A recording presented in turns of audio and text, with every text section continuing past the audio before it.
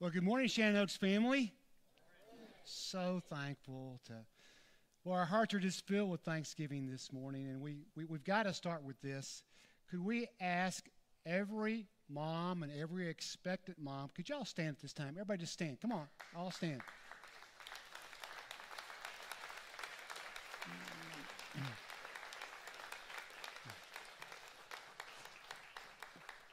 As Phil said, we love you and thank you, moms. And uh, you're going to hear a lot in my message today about how, how thankful that we are for you. Uh, when you came in, you saw on your chair that there was a card that said welcome. We mean that. We are so thankful that everyone's here this morning. If you're a guest or a member, we're so blessed to have you. You, you just fill this room with so much joy and love, and we're so thankful you're here. What we do with these cards, they're very important to us.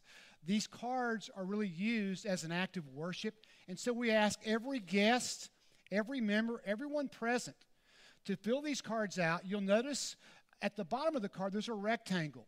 That rectangle is a very important place on that card.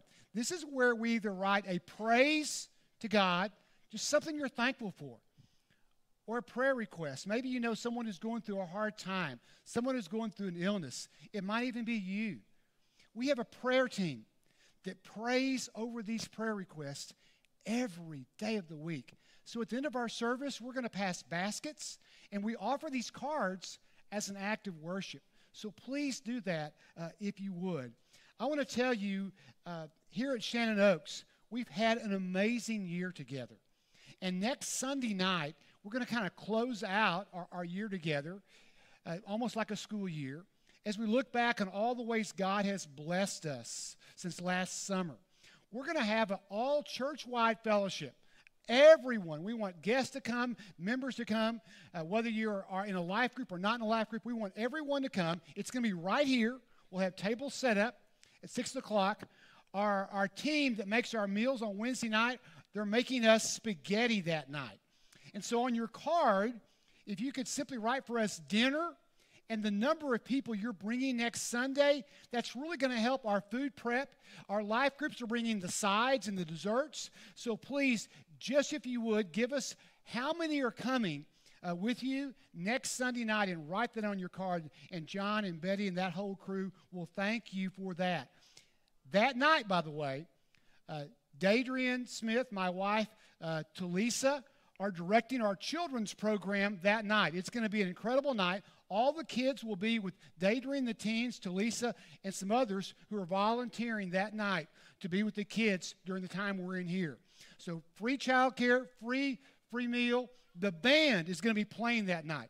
It's going to just be an amazing night of praise and fellowship and just thanksgiving. We're going to have eight different individuals kind of give a testimony of why they're thankful for this last year.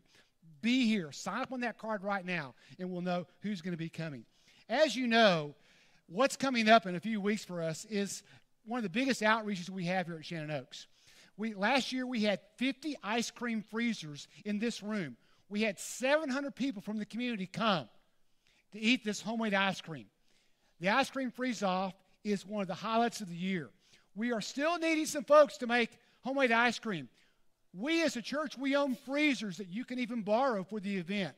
Would you write freezer on your card if you can help? We still need help, so please, if you can, we'll give you recipes if you need recipes, but we need help. As a part of that, as you know, we have an amazing balloon festival. Uh, I think we have, I don't know, 30, 40 balloons.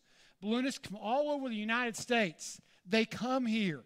Our 40 acres is just filled with, with balloons. And if you would like to be a part of that event, David and Pam Black, who are members here, they kind of coordinate this event. They need help, they need volunteers. You might even be a part of a balloon crew. Who knows? You might even go up in a hot air balloon.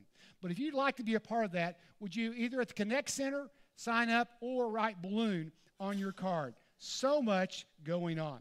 Before I get into my message this morning, let's pray together. Father, we thank you so much for, for this morning. God, I'm thankful for the leadership of our country who, who over 100 years ago said, hey, set aside one day for moms. God, we are thankful for the moms because they remind us of the kind of love that you have for us, Father. Now, God, as I, as I, as I share this morning about a mom in, in your word, in the Bible, God, speak through me. Help me to get out of the way. May we all leave different than we came. In Jesus' name we pray. Amen. Open your Bibles, if you have them, to, to 1 Samuel. We're going to be in 1 Samuel chapter 1. It was 1908. The lady's name was Miss Anna Jarvis. She lived in Philadelphia. And according to history, she's the first person that ever observed Mother's Day. She wanted that to spread. And so that next year, from 1908 to 1909, she went across the country encouraging people to make it a national day.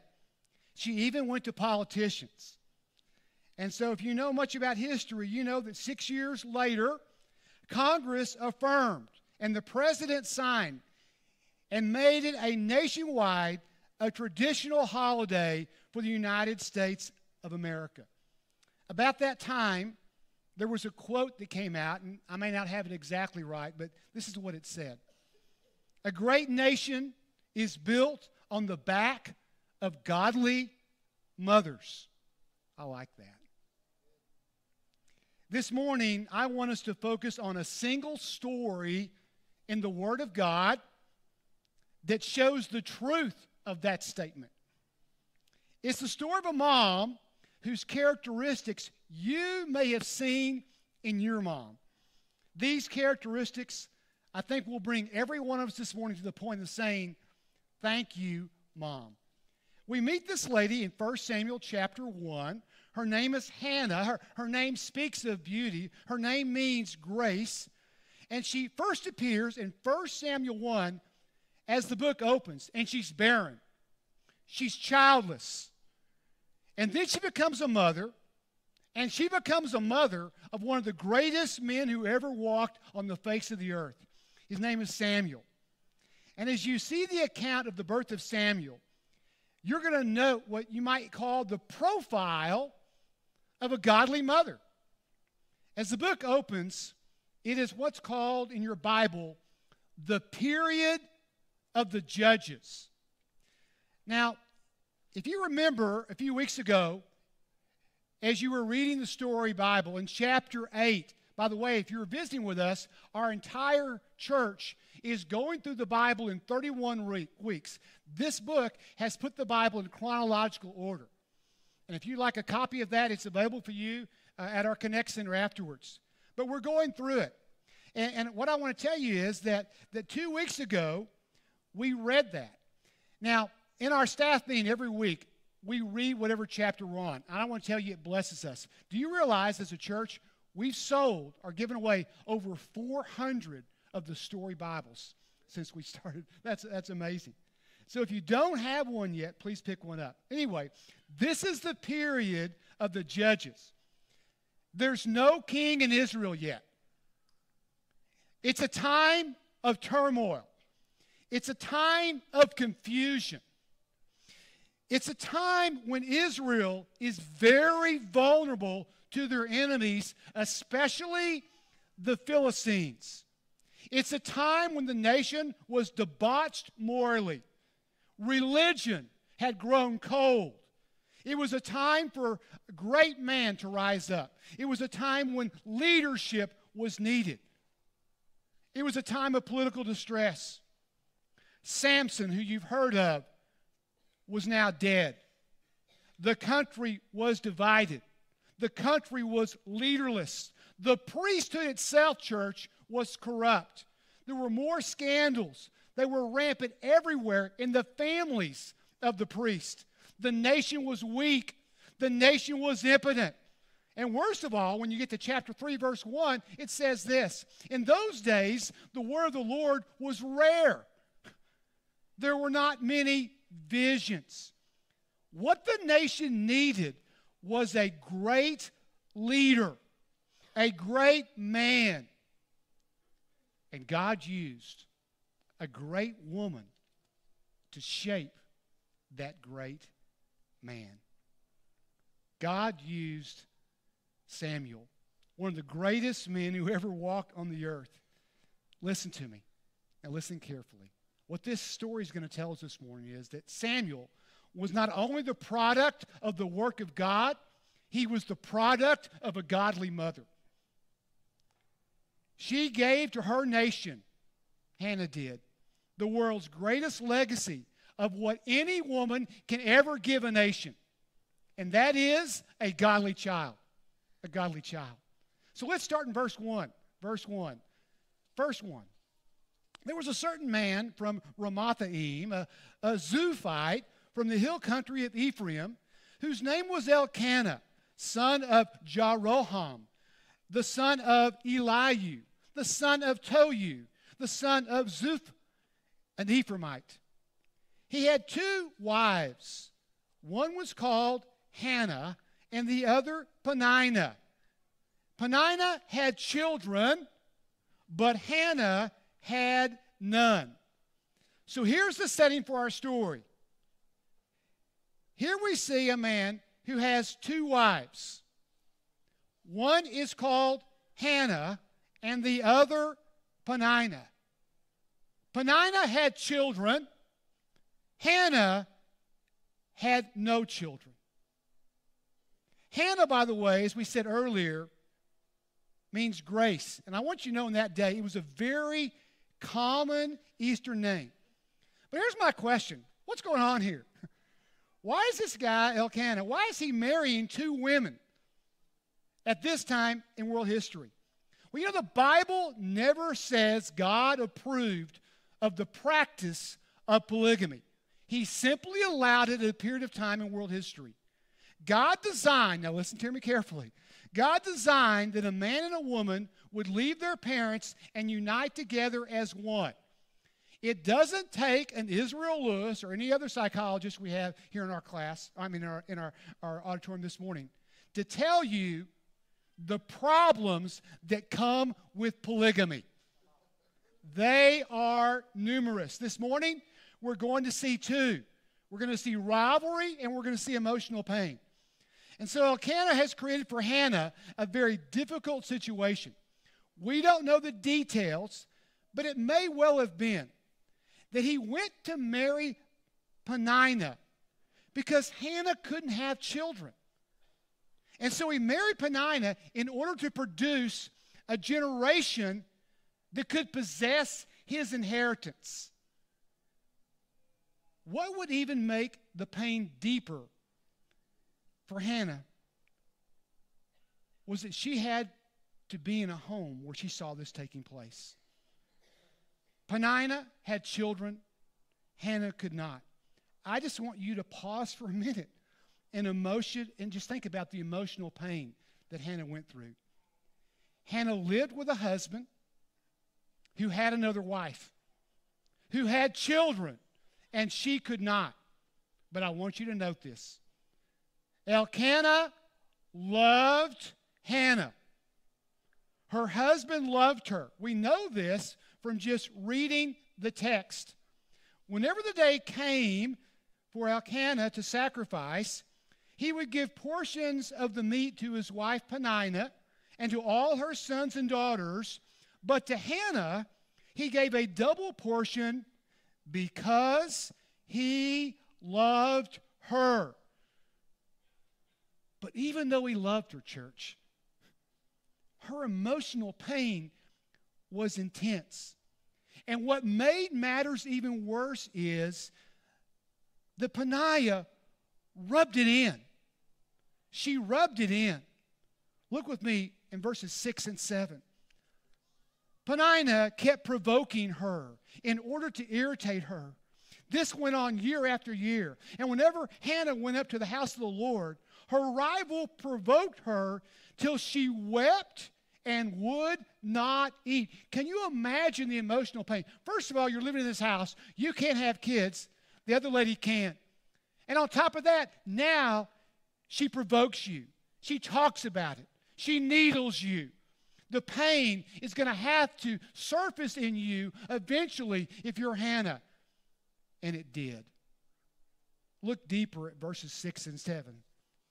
until she wept and she would not eat. I know in this room, some of you have been so distraught and so depressed that you have wept endlessly, that you've had no appetite. This is where Hannah was. And I want to pause for just a minute in this message. And I want to look, if I could, I want all men to listen to this, at the response of her husband to her weeping and her depression. I want you to look at the response of Elkanah to Hannah. Now, let's just stop, men, for a second. This is important. What do you do, men, when your wife is crying, when she is upset, when she is distraught? You might know the reason why she's crying, and you might be totally clueless. But what do you do? Talisa and I have been on many marriage retreats since 1985. And I can promise you, I have never heard a resource speaker tell the men on the retreat to do what you're going to see Elkanah do does here. It's, it's not in there. Let's look at verse 8. Here we go. Her husband Elkanah would say to her, Hannah, why are you weeping? Why don't you eat? Why are you downhearted? Don't I mean more to you than ten sons? Now, let me tell you how he's approaching her. He's approaching her logically. Logically. He says, Hannah, he's listen, Hannah, do you know how many women out there have arranged marriages? Their husbands don't love them, they're just living with them. You've got a husband that loves you. I need you, Hannah, to see the glass half full.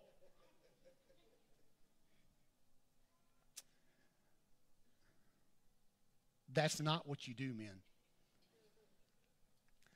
When our wives are crying, when our wives are distraught, this is what we learn on marriage retreats. You go up and you sit beside them, you put your arm around them, and you say nothing. They don't want a solution. They want to know you care. Women, you can say amen if you want to. they don't want a solution. They want to know you care. So I, have got to do this while we're here. Okay.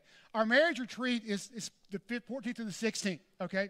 If you want your husband to learn strategies like that and more, put marriage on your card. We'll send you the information about the marriage retreat. We're, we're taking 40 couples to Arkansas next year, and we want to make sure that you know all about that. So here's what I want you to know Hannah's distraught, and understandably so.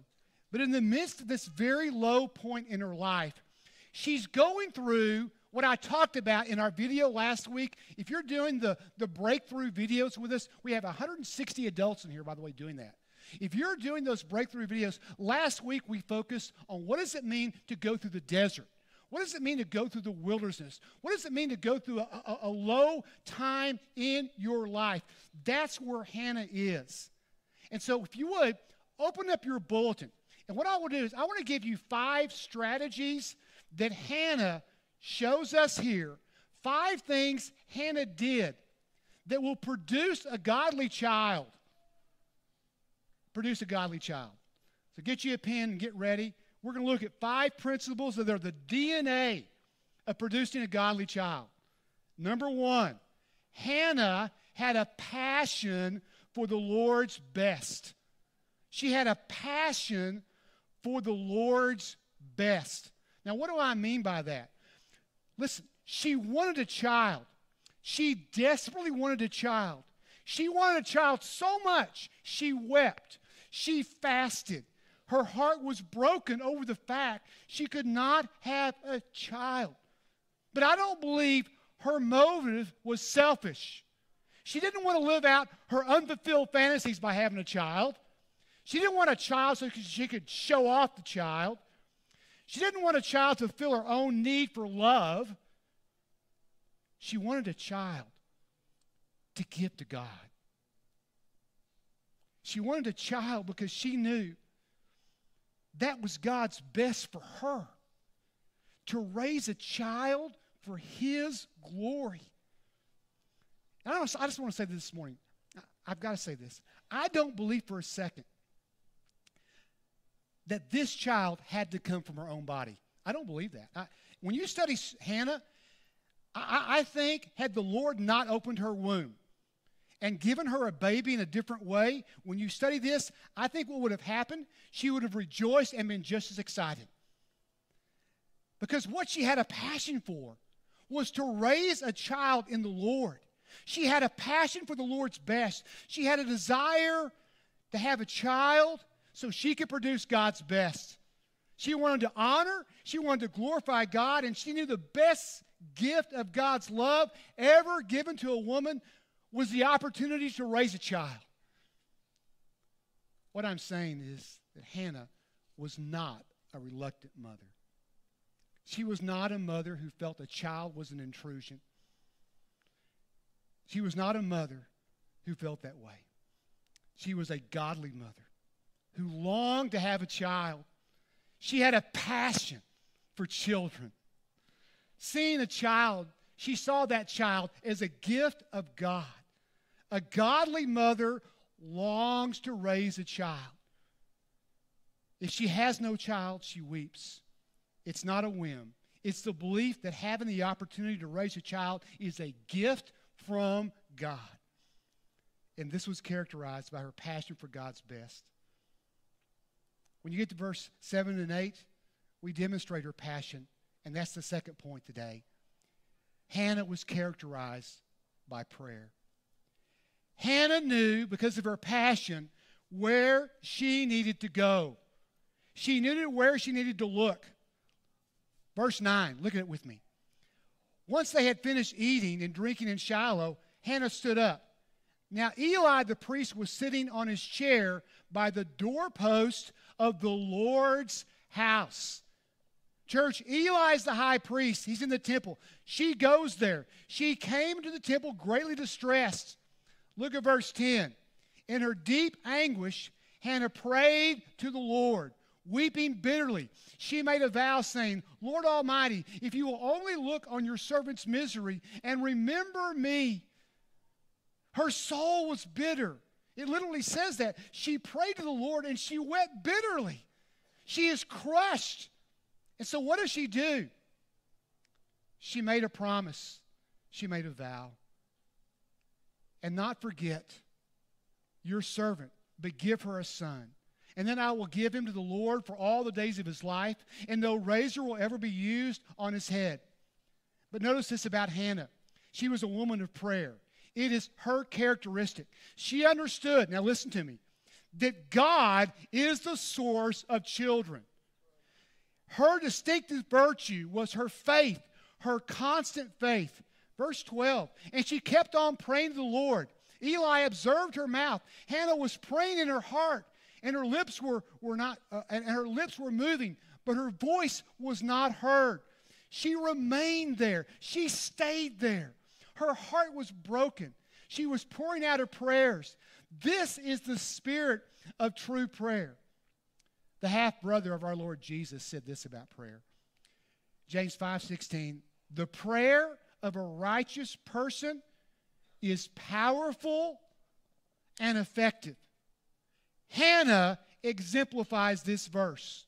She slipped into the sanctuary of God and she began to pour out her heart in honest, open faith, totally dependent on God alone to weave life in her womb. That's what Psalm 139 says. If you don't know that psalm, write it down. Psalm 139. So her passion turned to prayer. This speaks, church, of her heavenly relationship. She knew where to go with her problems. You know something I started thinking about in reading this point? Wouldn't it be amazing if you had a book of every prayer your mom ever said for you? Oh, wouldn't that be amazing? My mom's here today. She's She's 94 years old. I got the calculator out. 25,000 prayers. I would have a book of 25,000 prayers. Can you imagine when we get to heaven if, if we're able to look at those prayers and see those prayers, how thankful, how encouraged we will be? Let me just say something to the church here. You guys encourage me when it comes to prayer. As we started the service, I asked you to write down prayers. You know, when we first started doing this, we would get like one page of prayers that we would send to our prayer ministry. Eventually, it became two pages of prayers. And then you started to get it as a church. Guests started to get it as a church. Then it went to three pages. Recently, it's been four pages of prayer requests because you understand what Hannah understood. You understand the power of prayer. And Hannah understood that. Hannah was passionate about God's best. Hannah was characterized by prayer. And thirdly, write this down Hannah was a woman who kept her promise. Hannah made a vow.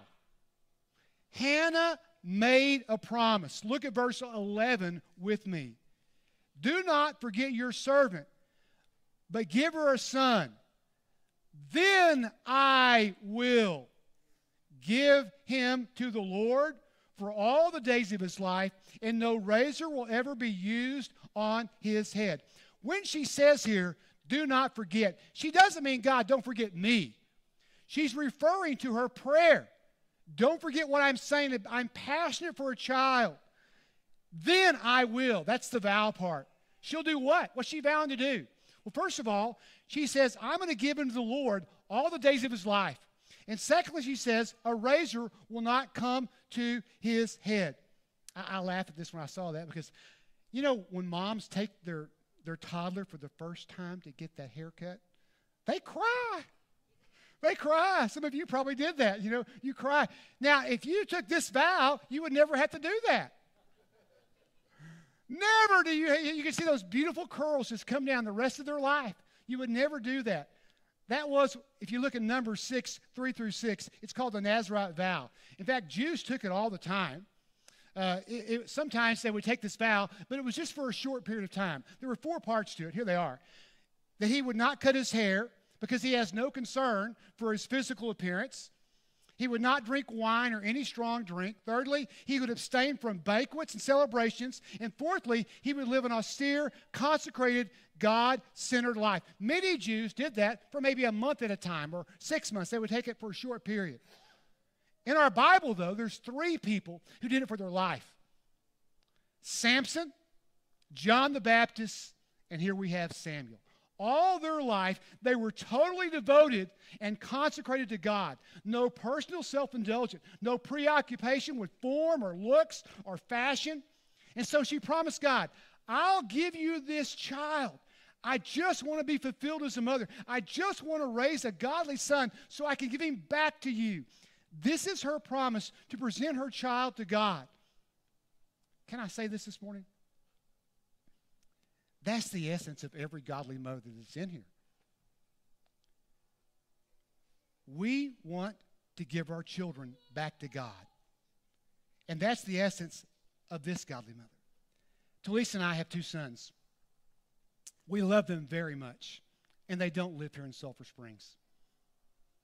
We get to be with them maybe five or six times a year, and we treasure every moment. God gave them to us for a period of time. A time when we tried to teach them to love God, to love people, to serve God. But it was just for a time.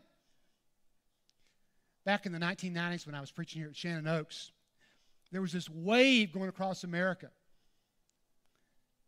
People all across America were turning their churches into movie theaters.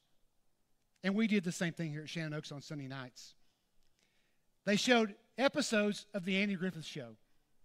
You know, when you take the commercials out, it's about 25 minutes, and then they would show they would do a uh, spiritual application after they showed the episode. Well, I can tell you without a doubt, when we did that, the most popular episode of all was called Opie the Birdman. It involved Opie finding three little birds whose mother had died. And so he puts them in a cage. Opie feeds the birds. He loves on the birds. He talks to the birds. He gives every individual bird a unique name. And finally, his dad, Andy, comes and says, Now, son, you have to do the last thing that their ma would have done. You've got to let your birds go. Opie replies, But, Pa, what if they can't fly away? Maybe I didn't do all the right things. Hmm. Andy says, oh, You did all the right things. They can fly away. And then Opie gets real excited. And he says, But if they can't fly away, I can just keep them as pets. They can live right here with me. Isn't this dialogue brilliant? And then Opie pauses and he says, but, Pa, they don't want to be pets. They're supposed to fly away, just like you said. So Opie takes the cage out in the front yard. He opens up the little cage door and he takes each bird out one at a time. He calls them by name and he says, Fly. And he watches them fly away. And after the third bird is gone, he, he looks back down at the cage and he says this the cage sure looks empty, Pa. Andy pauses for a second. He looks up and he says, Yes, son, it sure does. And then, listening to the sounds in the air, he says this But don't the tree, trees look nice and full? Hannah knew Samuel was a gift and she promised to release him back to God. Godly mothers know this. Their children are God's and they are a gift. And one day we release them back to Him. So, what do we learn about Hannah? She had the passion for God's best. She prayed in faith to God. She makes a promise to God and shows the motive of her heart. And now we come to these verses, verses 17 and 18. Let's look at them. Eli answered, Go in peace, and may the God of Israel grant you what you have asked of him. She said, May your servant find favor in your eyes. And then she went her way and she ate something, and her face was no longer downcast. My question for you is why? Why was her face no longer downcast? What, what do we see in Hannah here? So please write this down. Hannah lived out a patient faith. She gave it to God. She demonstrated this belief God, I don't know how you're going to do it or when you're going to do it, but I believe you are going to give me a child. And she wasn't frustrated anymore. She had true faith. True faith doesn't say, Oh God, here's my problem, and then you walk away feeling the same. That's not faith, that's doubt. True faith says, God, here it is. I trust you. And now your countenance is different because you've given it to God. You cast your burden on God, and that's the end of it. And so she walked away. She eats. She's no longer sad. Can I just say this this morning? And I'm one that I'm thankful for this. If you had a positive, encouraging mother, one filled with patient faith, you are truly blessed. You are truly blessed. Such a mom brings life to a home. Such a mom helps her children start to grasp the powerful concept of the sovereignty of God. Fear and negativity, they're felt in a family, and they can cripple kids. But faith and trust are caught in a home, and they bring life. Finally, this morning, Hannah was a woman of praise. When God gave her the child, you get to chapter 2, and here's what you see it's 10 verses. 10 verses that praise God. We're only going to read two. You can read the others later on. Look what she does once she has her child. My heart rejoices in the Lord. In the Lord my horn is lifted high. My mouth boasts over my enemies, for I delight in your deliverance. There is no one holy like the Lord. There is no one besides you. There is no rock like our God. This is thanks. This is exaltation. She has a thankful heart and she can't keep it in. This is unbroken praise. It's just a masterpiece. When you read the rest of the other eight verses, you're just going to see a masterpiece of praise. It's like when you get to Luke 1 and you see the mother of Jesus do the same thing, verses 46 through 45, 55, it's the same thing. So think about this. She was a godly mother who was known by her praise. You know, our, our sermon title this morning is this Thankful for Mom. And let me just say this there are no perfect moms. But if your mom displayed just one of the five characteristics that we read, read this morning, your heart should be full of thanksgiving today. Did your mom have a passion for God's best? Was your mom a woman of prayer? Did she be, was she a woman who kept her promises? Was she a woman of patient faith? Was she a woman of praise? What a gift moms are to us. I want to close with this, and it's very powerful. It was written decades ago, but it goes with this text so powerfully. The young mother set her foot on the path of life. Is the way long? she asked. And her guide said, Yes, and the way is hard, and you will be old before you reach the end of it, but the end will be better than the beginning. But the young mother was happy, and she would not believe that anything could be better than these years. So she played with her children, she gathered flowers for them along the way, and she bathed with them in the clear streams. And the sun shone on them, and life was good. And the young mother cried, Nothing will ever be lovelier than this. And then night came, and storm, and the path was dark, and the children shook with fear and cold. And the mother drew them close, and she covered them with her mantle. And the children said, Oh, mother, we're not afraid, for you are near, and no harm can come. And the mother said, Well, this is better than the brightness of day, for I've taught my children courage. And the morning came, and there was a hill ahead. And the children climbed, and they grew weary, and the mother was weary. But at all times, she said to her children, A little patience, and we'll get there. So the children climbed, and, and when they reached the top, they said, We could have not done it without you, mother. And the mother, when she lay down that night and looked up at the stars, she said, This is better day than the last, for my children have learned strength in the face of hardness. Yesterday I gave them courage, today I've given them strength. And the next day came strange clouds, which darkened the earth clouds of war, clouds of hate, clouds of evil. And the children groped and they stumbled. And the mother said, Lift up your eyes to the light. And the children looked up and they saw above the clouds an everlasting glory. And it guided them and it brought them beyond the darkness. And that night, Mother talked of Jesus and said, This is the best day of all. I've shown my children God. And the days went on, and the weeks, and the months, and the years. And the mother grew old, and she was little, and she was bent. But the children were tall, they were strong. They walked with faith and courage. And when the way was rough, they lifted her because she was light as a feather. And at last they came to a hill, and beyond the hill, they could see a shining road. They could see golden gates that were flung wide.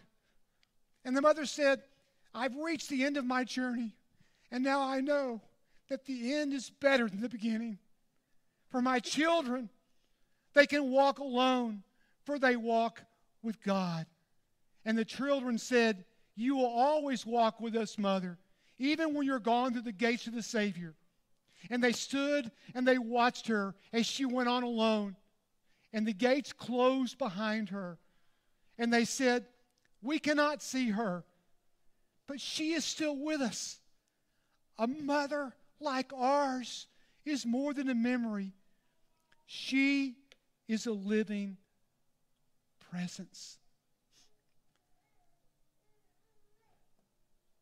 Thank you, moms. We're thankful for you.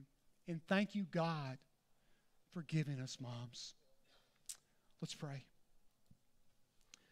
Father, what a morning we've had together. What a joy it is to be with so many loving, unselfish moms in here that have just impacted this world in ways that we'll only know about when we get to heaven. Father, we thank you for the love that our moms have shown us in whatever way that is, because it's taught us how you love us as well. And God, it's my prayer this morning. I believe you've given us the story of Hannah, that every mom here would beam with joy, knowing that you've given them the gift of life, the gift of life to love, to challenge, to help grow. May every mom here walk out here fulfilled with great joy in their heart. Now, Father, it's my prayer that as we all leave here today, that all of us will be thankful in our hearts, not just for the love we have from our moms, but for the love we learn from our moms about you, about you, God. We pray these things.